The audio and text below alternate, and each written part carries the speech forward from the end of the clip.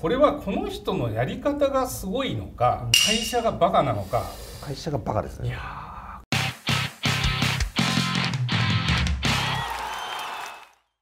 フランチャイズチャンネルが応援しているフランチャイズ加盟説明会はこちら。詳しくは概要欄から。はい今回はね FCMA なんですけどもちょっと雑談会ですね。前田さんも入っていただいて、お願いします。ネタとしてはですねさすがに僕もびっくりしたんですけど洋華堂の社員ですね。元社員か武田さんという方がから出張で2400万円搾取と。7年間で760回を繰り返すというです。ね、はい。これはもう事件。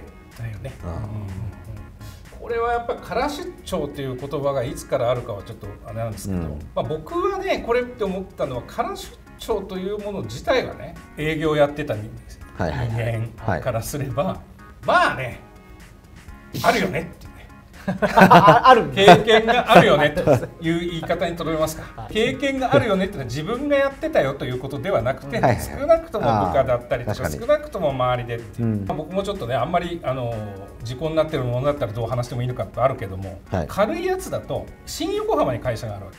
そこに訪問すると社長が最後に新幹線チケットくれるわけ。新横浜から、ね、あーまあ1000円ぐらいであ帰りこれ乗って帰りなよって。でそれで帰るじゃないですか。はい。で多くの方は交通費は請求してくるみたいな。はいはいはいはいでこういうところから始まっていくんですよ、うんうんうんまあ、ちっちゃな、うん。でその会社行ったらもう全員に配ってるってことは分かるから、うん。おーそうするとまあ一応1000円得するわけだよね、はい、うんこのレベルはまあいいじゃないって感じ。で まあ向こうもサービス1000円くれてるのと一緒で、はい。お金渡すわけにもいかないからこれこれ使ってよって。もらって。面白いもんだけど女子はね申告しないんだよ。ああ交通費を？うん。ああなるほど。もらったので。結構全員じゃないですけどね、うん男はもうほぼほぼするだからそういうところからね少しずつ始まっていくんですよ。あフランチャイズの営業とかであるのはやっぱり行ったっつって行ってないやつだよね。これ同行して分かるみたいなひどいやつだと。クロージングだと思って同行して「いやいつも竹山お世話になってましたよ」みたいな「ずいぶん久しぶりだよね」みたいな「あれおかしいな」みたいな。会社に帰るとその間に3回行ってたことになってるこれ結構悪質なんですこれもあるんですよ。はい。でこういうのはまた優秀なやつにかけてやるわけ。あ極論その今日決めてるのに決まったことにしないでもう一回する行くことにするみたいな。そういうそのフランチャイズの仕事って要するに一発で決まったんだけどもう一回行きましたっつってもそこを嘘ついてくるってうん。できないことはないんで、はい。ー頭利くやつことをやるんでねから出張あと多いのはあれか。小田原までずいつも新幹線で行ってますって言って各駅で行って新幹線分請求するみたいな。あー。こんなのも普通にどんどんあるでそういうところからこう少しずつこう進めていくみたいな。あとはあれですねあの仕様でみんなでご飯行ったのにお客さんと行ったことにする交際費のごまかしもありますよ。営業だとね。あまあそうですね。電車で来てるって自転車で通ってたりとか。ありますありますよね、まあそのというレベルっていうのは世の中あると思うんですよ。でまあ目をつぶってる、だと思うんだけれども、うん。いやこれはすごいよね。これすごいです。執念です。750回すごい。ですこれはこの人のやり方がすごいのか会社がバカなのか。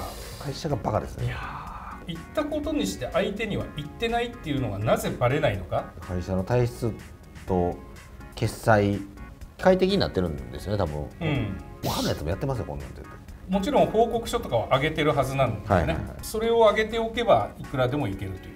で報告書見てないんじゃないですか？かもしれ多分ないですね。うん。760回見てないっていうのもすごいですよね、うん、えこれチケット買って換金してるってことですか？ね会社からチケットがもらえるんだと思うんだよね、出張すると言って例えば大阪までの往復2枚とか。それをチケットショップに行って売ってるわけだよね、で行ってないっていう、うん、だからチケットショップはだって買うじゃない。多くの方はご存知かと思うけどあのチケットショップになんであんなにチケットがあるのかと。結構ね会社の社長がね資金繰り詰まった人がカードで買ってういうことか。6枚とか12枚とかを買って現金になるんですよキャッシングの金利低いバージョンみたいな感じですか？ローンがなくなるじゃん枠が。ああそっかキャスそっか。だけど、えークレジットの枠はあると、確か百貨店のカードとかだとかなり縛りがあるんで大丸だったら大丸のカードでしか買えない。でも新幹線のチケットは何でも買えるわけですよ、ああそうですね、うん、だからやって並んでるとか。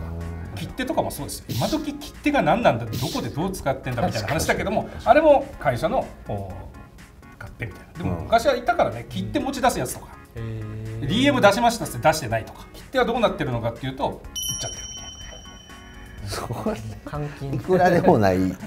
けどね。け結構なけど毎月とか毎週とかやってれば。まあ確かにこれもに2400万ですもんね7年で。いやーまあ、あとは僕が投資の時にあれがあったかなあの野球のチケットね、はい。あれお客さんと行ったことにして売っちゃうっていう人。それ会社で抑えてるチケット？そうそう会社ボックスシートとか押せるわけじゃんドんですよボッームとかクスのやつ。いや売売ってるじゃなくて買い取り屋に。だからそれもお金になるわけ。会社っていうのはそういうこともできたりして。でもまあこの空出張これはやっぱりもう会社がバカすぎるという。う感じですかねんさすがに泣いてる人いたじゃないですか昔。あーはいはいはい。あの人もなんか野々村さん。そうそうそうそう、うん。同じですよね、うん。それを同じ同じ。国のお金使ってるからそうそうそう。悪質だったり何を隠そう西宮出身ですか？らあねじゃあもうよくご存知で。不正とこの議員と。だから行ったということにして、えー記録を残して請求すると。あ完全な空出張だよね。ーうん僕がそのベンチャーリンクにいた時にそういう悪いことしてたやつこれまたね結構稼ぐやつだったりするんですよ。やっぱ悪知恵も働くってまあまあうんなる犯人を思い出したんだけどはいそれで詰めたやつをね、詰めた怖い、うん、あまりに悪質なのはやっぱりね小田原の新幹線で行ってないぐらいは旦那もいませんよその。はい、から出張が。原出張がバレたやつに関して3人今浮かんだけどやっぱりその後ダメだね。ええろくになってないね。当時営業としては割と数字出してたやつだけど3人とも今何やってんのかなっていう感じになってるんで少なくともベンチャーリンク出身でフランチャイズ界隈でいい仕事してる人たちもたくさんいるけど、その中には入ってない。やっぱりモラル的なものもあるんだろうね。ちょうどあのオーガナイザーの佐々木さんの動画見てたらあのベンチャーリンクの SV の赤木うん。赤木さんね。はうん。よくご存知なんですか、青木さんは知ってますあそうなんですね、まあ、僕は古いけど彼も結構古い。うん土井さんはちゃんとやってた。赤木さんは SV だから。あそうか。そうか赤木さんの箱をしてないから。SV の方がやっぱりやりづらいよ。ただ SV は逆に言うとおごられるとかなんか物もらうとか、はい。そういうのはあるよね。こうべったりな関係だから。長く付き合うし、うん。うんうんうん SV っていうのはやっぱりね変わった時に全部バレちゃうんだよ。前の人がこうだとこうだあー。あーみたいな。だからやっぱりしづらい。